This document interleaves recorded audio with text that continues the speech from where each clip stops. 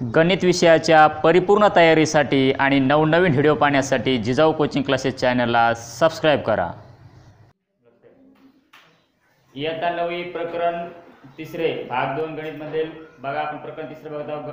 त्रिकोण. सराव संच तीन पॉईंट पाच मध्ये आपल्याला काय दिला आता समरूपता. समरूपतेवर आधारित उदाहरण दिलेले आणि समरूपतेवर आधारित या उदाहरणाचा अभ्यास जर तुम्ही चांगल्या पद्धतीने केला तर येणाऱ्या वर्षी म्हणजे पुढच्या वर्षी दहावीला स्पेशल समरूपता नावाचे तुम्हाला चॅप्टर प्रकरणच आहे. त्याच्यावर तुम्हाला फक्त समृद्धीचा अभ्यास करायचा त्यामुळे हा जो पॉईंट दिला समृद्ध हा थोडा समजून घ्या.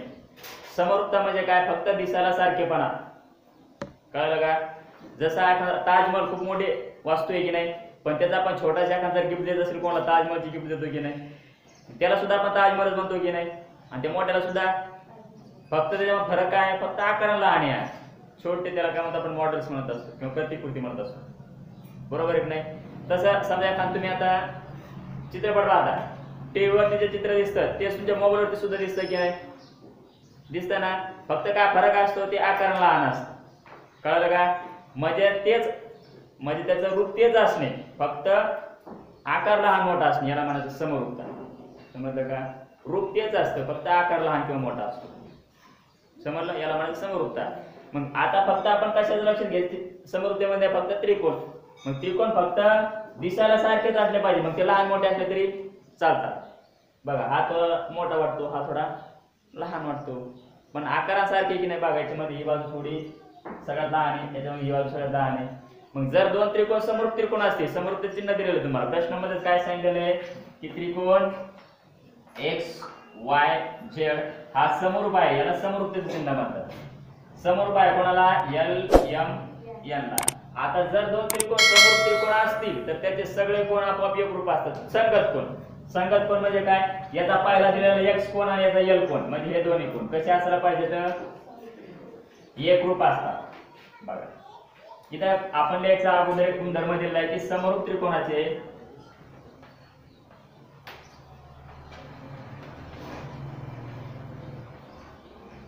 संगत कोण? एकरूप असतात. समजलं का?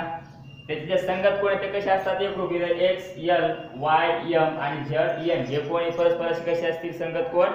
एकरूप असतील. आणि बाजू?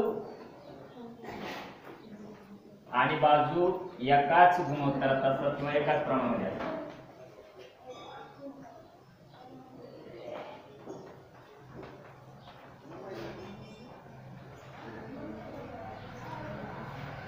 म्हणून आता जर जो दोन त्रिकोण समरूप त्रिकोण असतील तर त्याचे संगत कोण कसे असतात सगळे? एकरूप असतात. म्हणजेच कोण? यल हा एकरूप आहे. कोणाला? कोण? यल सॉरी कोण एक्स हा? कोण यलला एकरूप आहे. त्याच्यानंतर कोण? वाय कोण यमला आणि कोण झड हा एकरूप आहे. कोण यल हे समजलं का? इथं तुम्ही वरती दिलेलं आपण समृद्ध सगळे कोण संगत कोण कसे असतात? एकरूप असतात म्हणून आपण ते एक आता बाजू. बाजू एकाच प्रमाणामध्ये असतात. म्हणजे काय? जर एक्स वाय आणि एल एम यांचा जो भागाकार येणार आहे तो भागाकार कोणाचा असतो? एक्स झडचा आणि एल एमचा एल एनचा याला म्हणायचं एकच गुणोत्तर. कळलं का? परत तोच असणार वाय झड आणि यम यांचा. समजलं का आता? जर दोन त्रिकोण समोर त्रिकोण असतील त्याचे सगळे संगत कोण एकरूप लिहायचे आणि सगळ्या बाजू एकाच गुणोत्तरामध्ये लिहायचे. एवढं गुणधर्म या प्रश्नावरून समजून द्यायचे ठीक आहे म्हणजे दोन मध्ये आपल्या त्रिकोण एक्स वाय झेड काय माप दिलेली बघा त्रिकोण एक्स वाय झेडमध्ये काय सांगितलं आपल्याला? X Y. दिलेला आहे. किती एक्स वाय दिलेला? चार सेंटीमीटर आहे. आपण इथं देऊ चार सेंटीमीटर त्याच्यानंतर अजून आपल्याला वाय झेड दिलेला आहे. किती आहे तो? सहा सेंटीमीटर आहे. वाय झेड सहा घेऊ. आणि त्याच्यानंतर अजून आपल्याला एक्स झेड दिलेला आहे. हा घेऊ पाच सेंटीमीटर तर आपल्याला काय करायचंय? तर त्रिकोणमध्ये त्रिकोण पी क्यू आर याच्यामध्ये आपल्याला एकच बाजू दिलेली. कोणती? पी क्यू दिलेली. कोणती आहे पी क्यू खालची बाजू. ही बरोबर किती आहे? आठ सेंटीमीटर. आणि अजून प्रश्नामध्ये आपला असं सांगितलं की त्रिकोण एक्स वाय झेड हा समोर पाय त्रिकोण पी क्यूवर त्रिकोण एक्स वाय झेड समरूप आहे त्रिकोण पी क्यू आर सी जर हे दोन त्रिकोण समरूप त्रिकोण असतील तर सगळ्या बाजूचे गुणोत्तर कसे असले पाहिजे? सारखेच असायला पाहिजे. समरूप त्रिकोणाचे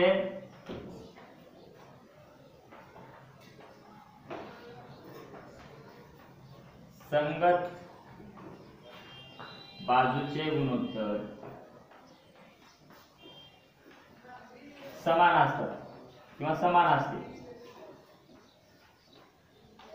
म्हणून आपण सगळ्या बाजू त्याच्या प्रमाणात मांडू.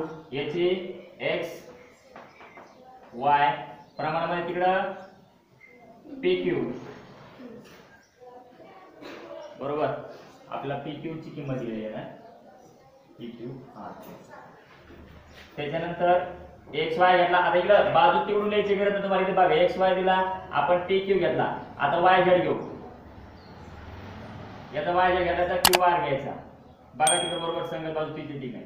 याचा एक्स झेड घेऊ. इकडं पी आर घ्यायचं. समजलं कसं घ्यायचं तर? एकरूप त्रिकोणाच्या समरूप त्रिकोणाच्या संगत बाजू एकाच गुणोत्तरामध्ये असतात. आता यांचं गुणोत्तर माहिती आहे आपल्याला. एक्स वाय किती आहे? किंमत चार. आणि पी क्यूची किती आहे? आठ. म्हणजे यांचं जर गुणोत्तर काढा आपण तर चार एक चार जुने. म्हणजे गुणोत्तर हे चालेल की नाही? मग या दोन्ही या सगळ्या बाजूचं गुणोत्तर तेच असेल ना? सर्व बाजूचं गुणोत्तर कसं असतं? समान असतं. म्हणून आता काय करायचं? आता यांची किमती म्हणू आपण. एक छेद दोन. अगोदर आपल्याला काय करायचं? वाय झेड ची किंमत किती दिली तर? पाच. आपल्याला क्यू आर काढायचा आहे. वाय झेड सहा आहे. आपल्याला क्यू आर काढायचा आहे ना? मग क्यू आर बरोबर दोन गुणिले सहा. किती उत्तर येईल? बारा. त्याच्यानंतर तसेच एक छेद दोन घ्यायचा. आणि एक्स झेडची किंमत किती आहे? पाच. आपल्याला कोणाची काढायची? पी आर ची. म्हणून पी आर बरोबर परत पाच जुने दहा. समजलं का? अशा पद्धतीने किमती काढायची. मध्ये काय सांगितलंय? कोणतेही दोन समरूप त्रिकोण काढा. फक्त ते समरूप असले पाहिजे. आणि त्यांना तुम्ही नावं द्या. त्यांच्यामध्ये असलेले संगत कोण जे आहेत ते आपल्याला सारख्या चिन्हांना एकूण दाखवायचे तर. आणि त्याच्या ज्या बाजू आहेत त्या आपल्या सारख्या संख्येच्या प्रमाणामध्ये घ्यायच्या. अतिशय सोपा प्रश्न आहे. बघा दोन समरूप त्रिकोण कसे काढायचे? तुम्ही कोणत्याही आकाराचे फक्त तुम्ही दुसऱ्याला दोन्ही पण सारखे असे पाहिजे असे त्रिकोण काढायचे. बघा अगोदर काय करू आपण? दोन त्रिकोण काढून घेऊ. जे की समरूप असतील ते.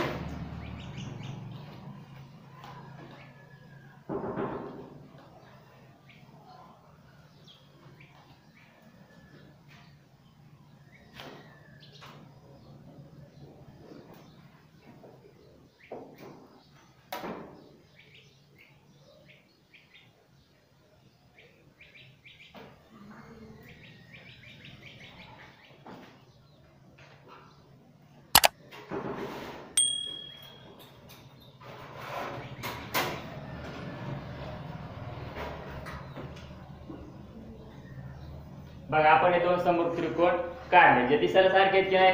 म्हणजे समरूप भेदे आपण याला नाव देऊ आता. याला नाव देऊ आपण ए बी सी आणि याला देऊ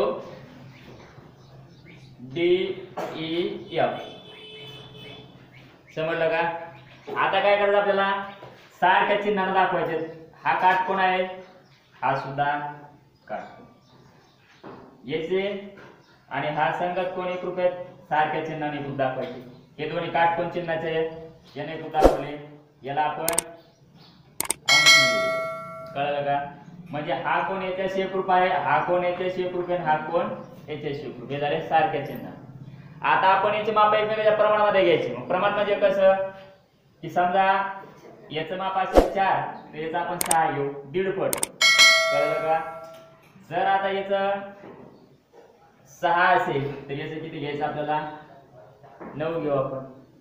कळलं का? किंवा काटकोण त्रिकोण आहेत? बरं ठीक आहे. आता आपण काय करू याच्यामध्ये? काटकोण त्रिकोण असल्यामुळे आपल्याला काय करावं लागेल? प्रमाणामध्ये माप घ्यावं लागेल. म्हणजे पायथागोरसच्या प्रमाणानुसार त्याची किंमत आली पाहिजे. बरोबर? जर चारचा वर्ग सोळा होतो तीनचा वर्ग नऊ होतो. दोघांच्या वर्गाची बेरीज किंमत तर वर्ग मिळतात आता आपण काय करू? यांच्या दुप्पट याची किमती घेऊ. याची किंमत किती घ्यायची? सहा. याची किती घ्यायची? आठ आणि किती घ्यायची मग? किती घ्यायची? याच्या दुप्पट. हो सॉरी दहा. किती घ्यायची? दहा. हे झालं एकमेकाच्या प्रमाणामध्ये. समजलं का? ठीक आहे. वाढलं बघ आठचा वर्ग करा सहाचा वर्ग करा दोघांचा वर्ग काढा म्हणजे पायथागोरच्या प्रमाणानुसार सुद्धा त्या बाजू प्रमाणामध्ये बळ येतात आणि पायथागोरच्या प्रमाणानुसार पण एक रूप येतात. याला म्हणायचं समृद्ध त्रिकोण काढणे. कळलं? इकडे